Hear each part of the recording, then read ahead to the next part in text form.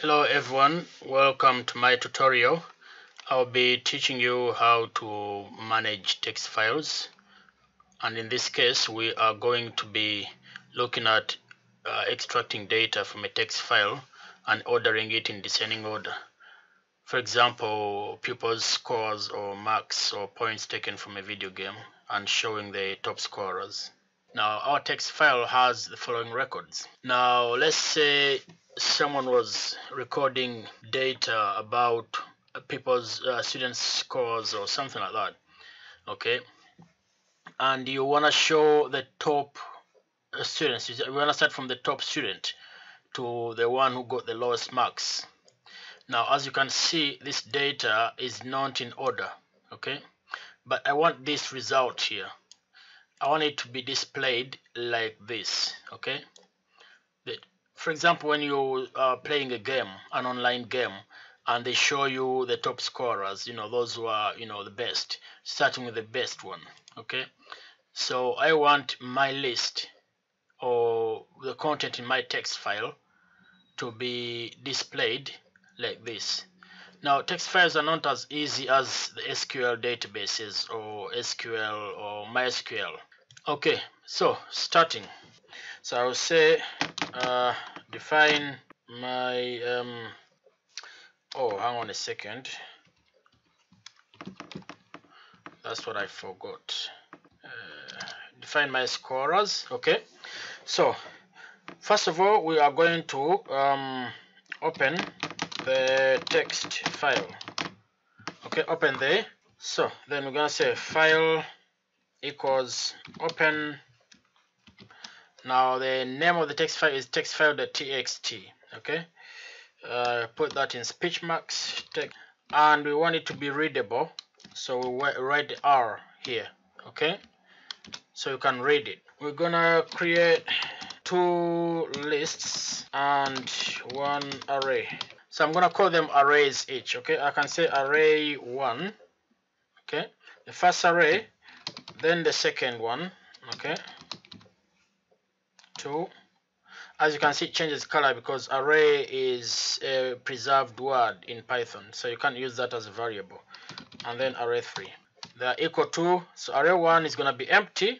It will exist. It's uh it's, but it's going to be empty. Then the next list is also going to be empty. And then we have a data dictionary rather. I meant data dictionary at the start. Okay so that's what we have. Now we're gonna assign it to a variable named as lines. So let me first close that. A variable named as lines. Okay? That there. So how do we do that? Come on. Lines. Okay so we say lines which are the lines of files okay in our text file lines equals file dot read lines. Now this function is going to allow your program to read all lines in the text file. Okay not just one. If it's a read line then it's only going to read one. Now we're ready now to use our for loop. Okay? For as long as this variable x is within okay as long as that's happening we're gonna now create some fields here. We're gonna say fields equals x dot split. Now I'll explain what that means in a minute okay? Now we need to split these lines because remember our text file will be showing our text file will be showing um you see it's showing the mark and then comma and then the name the mark it shows the mark and the name as you can see mark and the name. Now we need to separate this each line okay? We read a line read through a line okay? We're to say the line is to be equal to x but we need to separate these two because we're to deal with them um, individually okay? So that's why we say fields equals x dot split. I forgot that split okay the ones extracted from um, the this text file. It's going to separate the numbers from the corresponding names. but then after separating them we need to put them somewhere okay so we need to say array 1 dot append append will keep populating will keep adding yeah it it's gonna keep adding every time it gets a field it's gonna add it to the array one.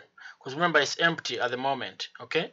So now while it's looping through all these lines for example if it reads this line okay it's gonna get array 1 and assign it to this value. Then array 2 is gonna have this value. Array 3 is the one that we will see later on. But for now array 1 dot append so we're gonna make them integers because when we get them from the text file they are read as string type and then array 2 dot append. So you need fields.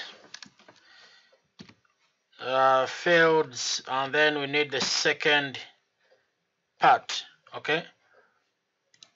First part and the second part.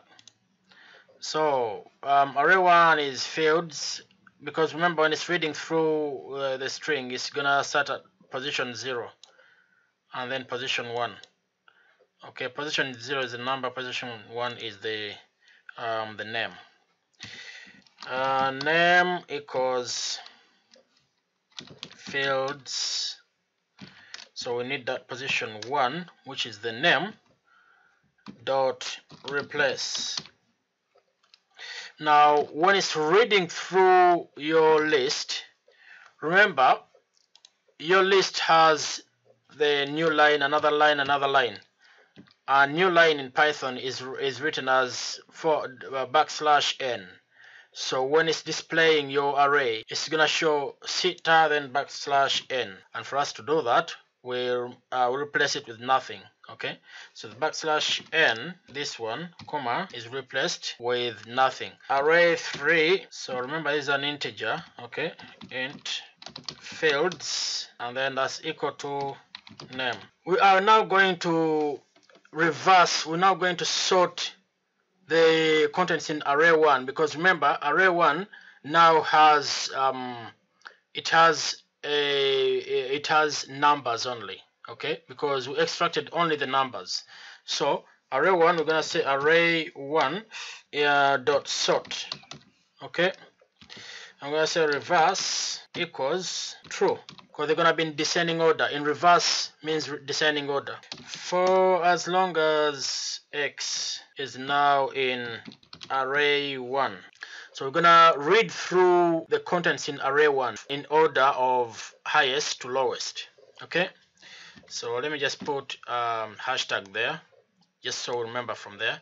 Okay so for x in array 1 okay we're gonna say values equals on equals array oops array array 3 dot get.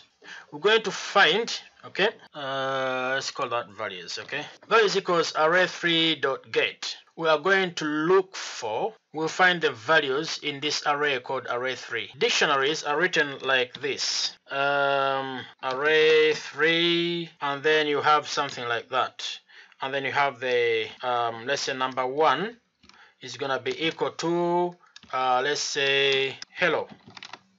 Okay? So if you say um, array3 dot get um, 1 if you put 1 here it's to display the value hello. Say print uh, we're gonna print but we need to start with a new line to print we need to start with a new line. It's okay? Okay so print new line because remember it's within a loop it's reading through array 1 print put a new line there type the value x and then remember x is now the number okay? So x then also after doing that we're gonna put our equal sign. Let's uh, try and make one there okay? And then we're gonna display the values okay? And now we need to close our file. File dot close okay like that. Right so just for a recap we've declared our arrays here. Okay uh, we have they're all empty. Uh, actually array3 is a array3 is a dictionary. Okay it's a dictionary. So these lists are all empty. Okay and now we are getting a variable here and we're saying it's equal to file.readlines, which means file.readlines is gonna ask the program to read through the opened file, the, the text file that's been opened. It's gonna read these lines here, one by one, up to line 5. Whilst doing that, we're gonna say each line is equal to, I mean x is equal to the value of each line, the content on, on each line. x is equal to the content of each line. So which means x will be equal to that line.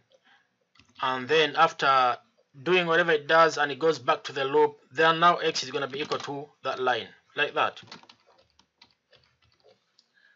So first time it reads the loop, x is equal to 101 comma theta. So, but what do we do to the x? 101 comma theta, because x is 101 comma theta. Okay, we split it where we find the comma we split okay which means we are separating them based on where we find where the comma is.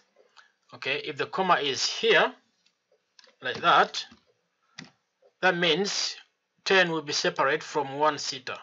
Okay? So after splitting them now we have two values. So we're going to assign one value to array 1 and the other one value to array 2 and remember this happens every time the loop runs. Every time every time right until you reach the final line here. So array array one will have the numbers.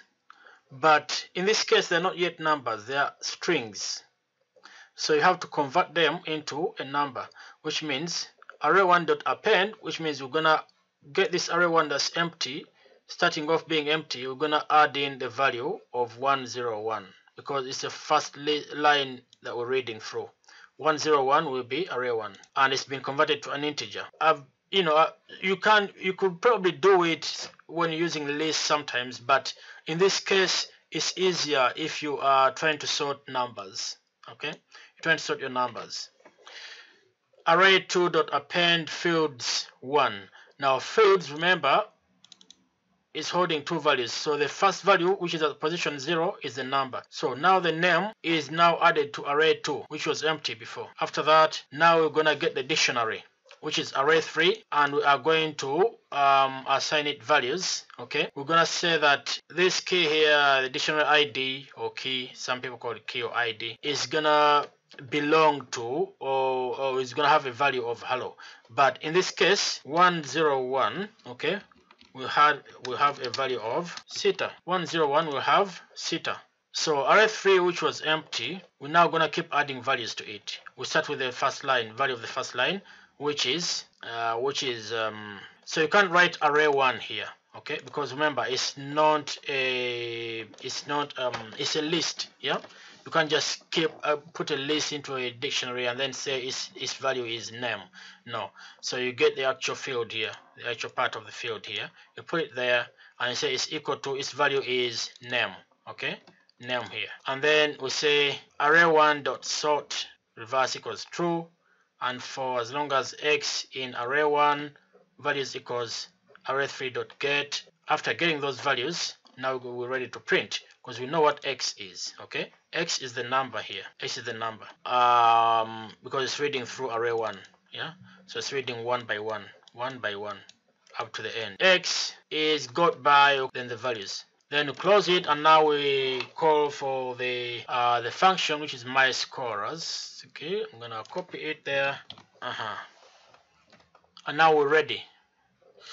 I'm gonna play it and then you see that we have this if, even if I go back there I still I'm still at the top yeah? So that's how you do it. That's how you manage data using text files and showing values in descending order. Thank you